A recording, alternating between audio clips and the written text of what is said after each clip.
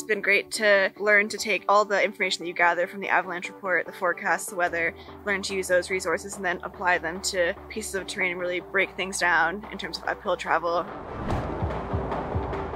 Decision making is probably the big thing that's taken away from the course, and it's the one thing I really wanted to come in and gain a lot more knowledge and hopefully start a long career in the backcountry.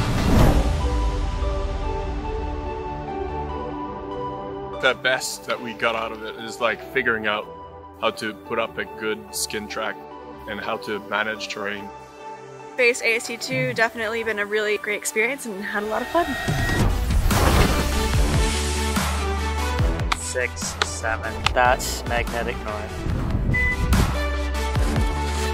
And I'm gonna walk this way. Point eight, point seven. The ridge is bulges a bit.